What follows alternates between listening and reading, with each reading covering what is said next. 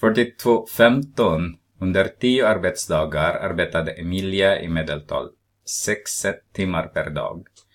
Under de nio första dagarna arbetade hon sex, som ni ser där nu, respektive en sex timmar per dag. Eh, hur många timmar arbetade hon den tionde dagen? Så har du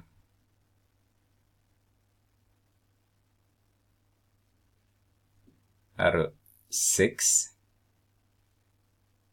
Grönt den här. Grön den här. 6. Adderar med 8, adderar med 10, adderar med 4, adderar med 5, adderar med 8, adderar med 6, adderar med 2, adderar med 7, adderar med x är lika med, vad blir det? 6 timmar i nio dagar.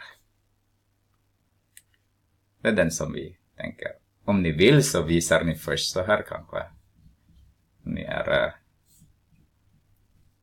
om ni förstår inte vad jag menar. Det måste vara dividera med nio är lika med sex timmar per dag då. Så om vi multiplicerar båda led med nio med nio så har jag, den här blir det ett. Det är därför jag fick sex gånger nio där. Eh, så har vi, vi adderar allt den där, så har vi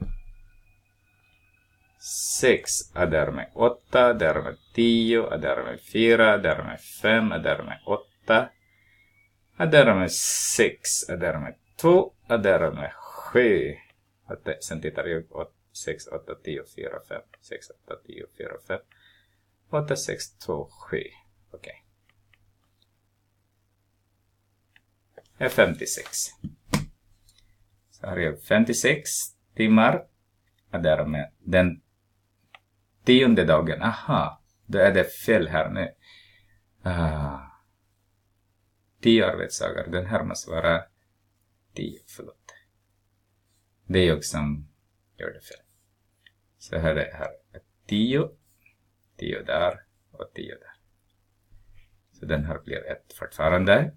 Så har vi 60 där. Så om vi multiplicerar båda led med 56, äh, multiplicerar, subtraherar menar jag. Äh, subtraherar. Ah, jag grabblar nu. X är lika med 4 timmar.